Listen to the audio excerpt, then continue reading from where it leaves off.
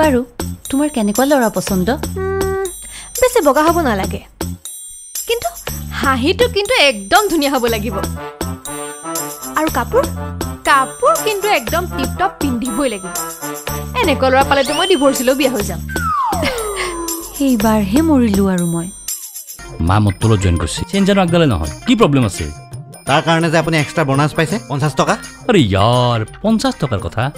এই ফটিকা পঞ্চাছ টকাৰ কথা চিন্তা কৰিব। মই চিন্তা কৰি আছোঁ মই তোমাক কেনেকৈ লাখপতি কৌটিপতি বনাওঁ। লাগিলে পঞ্চাছ টকা ঘূৰাই দিম। দিয়ক এতিয়াই দিয়ক। আপোনালোকৰ ঘৰত ভাড়া থকাটো আমি বহুত বছৰে হ'ল। তাৰমানে আমি আপোনালোকৰ এতিয়া নিজৰ মানুহ।